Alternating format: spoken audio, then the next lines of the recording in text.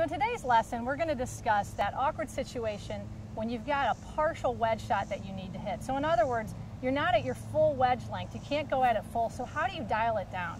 So I've got my good friend Gideon Traub here from Forest Hills Country Club, PGA member, here to discuss how to, how to hit this shot. So Gideon, how do you explain this to your students? It's kind of tough when you have to ease up on something. Yeah, you know, I find uh, some students do this a little bit better than others, and those that, that have a struggle with it, they, they don't really know how to dial the speed down. So what I, what I try to tell, tell them to do is, one of the things you can do is you can choke down the club a little bit, which is going to help lower the distance, but also taking more of a three-quarter swing, um, not taking that full all the way back motion.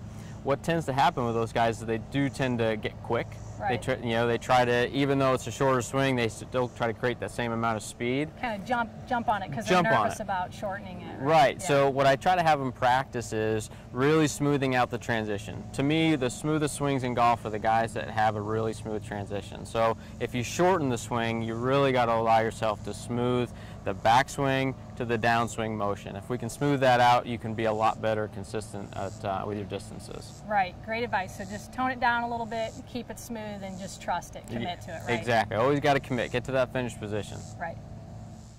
So Gideon, that was some great advice you gave on how to dial down your wedges when you're in that like sort of tweener phase with your club. So I understand we're at kind of an awkward yardage for you. You can't go full out with your wedge. So just walk us through the steps you're going to take to try to knock it tight. Sure. So I've gone up a club probably from where, you know, if I, I could really maybe hit one wedge hard. Instead of doing that, I'm going to go ahead and go up a club and take a little bit of a, an easier approach to hitting this shot. I'm going to choke down on the club a little bit and I'm going to really concentrate on smoothing out my transition. I'm only going to take the club back about three quarters of the way and really kind of concentrate on making sure that my transition from the backswing to the downswing is smooth and doesn't have a whole lot of effort going in Right, there. so you don't have to jump at it. Just don't have to jump at it. Exactly right. Don't want to have to do that. I want to take my time and make sure that I actually hit this shot solid rather than hard. Okay, so I choke down on the club a little bit.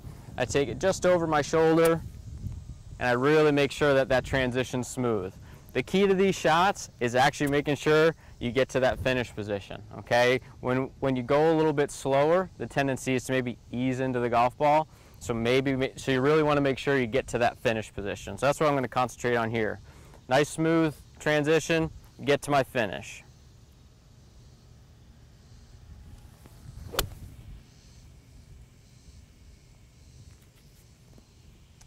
All right, so bad kick, but it actually was pin high, so Yeah. you got the yardage down pat there. Definitely had the yardage right, which uh, probably should aim a little more to the right of that fat of the green, maybe. Right.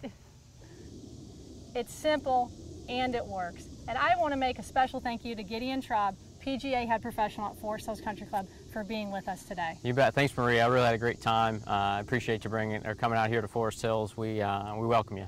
Thank you so much. And remember, if you have an idea for a lesson, feel free to submit it in the Ask Maria section on mygolfinstructor.com.